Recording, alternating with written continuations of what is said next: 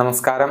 Raf talks ഫുട്ബോളിലേക്ക് ഏവർക്കും സ്വാഗതം. രണ്ടായിരത്തി പത്തൊൻപത് യുഎഫ ചാമ്പ്യൻസ് ലീഗിൽ നടന്ന സെമി ഫൈനൽ പോരാട്ടത്തിൽ വമ്പന്മാരായ എഫ് സി ബാഴ്സലോണയും ലിവർപൂളും തമ്മിലായിരുന്നു ഏറ്റുമുട്ടിയിരുന്നത്. ആദ്യപാദ മത്സരം ബാഴ്സയുടെ മൈതാനമായ ക്യാമ്നൌവിൽ വെച്ചായിരുന്നു നടന്നിരുന്നത്. എതിരില്ലാത്ത മൂന്ന് ഗോളുകൾക്കായിരുന്നു ആ മത്സരത്തിൽ ലിവർപൂളിനെ ബാഴ്സലോണ പരാജയപ്പെടുത്തിയത്. മത്സരത്തിൽ മെസ്സി രണ്ട് ഗോളുകൾ നേടുകയും ചെയ്തിരുന്നു. എന്നാൽ രണ്ടാം പാദ മത്സരത്തിൽ ഒരു ഞെട്ടിക്കുന്ന തോൽവിയാണ് ബാഴ്സലോണക്ക് ഏറ്റുവാങ്ങേണ്ടി വന്നത്. ആൻഫീൽഡിൽ വെച്ച് നടന്ന മത്സരത്തിൽ എതിരില്ലാത്ത നാല് ഗോളുകൾക്ക് ലിവർപൂൾ വിജയിക്കുകയും അങ്ങനെ അവർ മുന്നോട്ട് പോവുകയും ചെയ്തു. ആ മത്സരങ്ങളുമായി ബന്ധപ്പെട്ടുകൊണ്ട് അന്നത്തെ ലിവർപൂളിന്റെ ഗോൾ കീപ്പിംഗ് പരിശീലകനായിരുന്ന ജോൺ ആസ്റ്റർബർഗ് ചില കാര്യങ്ങൾ പറഞ്ഞിട്ടുണ്ട്. മെസ്സി ഡൈവ് ചെയ്യുന്നതിനെതിരെയായിരുന്നു അദ്ദേഹം വിമർശനങ്ങൾ ഉന്നയിച്ചിരുന്നത്. ഡൈവിങ്ങിന്റെ ആശാൻ എന്നാണ് അദ്ദേഹം മെസ്സിയെ കുറിച്ച് പറഞ്ഞിട്ടുള്ളത്.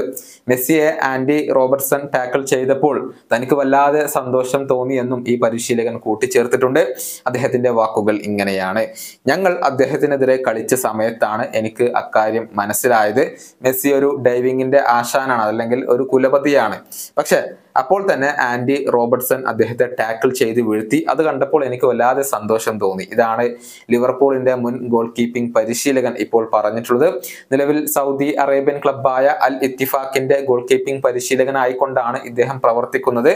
ലിവർപൂൾ ഇതിഹാസമായ സ്റ്റീവൻ ജെറാർഡാണ് അവിടുത്തെ മുഖ്യ പരിശീലകനായിക്കൊണ്ട് ഉള്ളത് അതേസമയം ലയണൽ മെസ്സി ഇപ്പോൾ പരിക്കിന്റെ പിടിയിലാണ്. കോപ്പ അമേരിക്ക ഫൈനൽ മത്സരത്തിലായിരുന്നു മെസ്സിക്ക് പരിക്കേറ്റത്. ഇനി കുറച്ചു കാലം കൂടി മെസ്സിക്ക് വിശ്രമം വേണ്ടി വരും എന്നാണ് ഇപ്പോൾ പ്രതീക്ഷിക്കപ്പെടുന്നത്. ഈ വീഡിയോയുടെ അവസാനിപ്പിക്കുന്നു. വീണ്ടും കാണാം.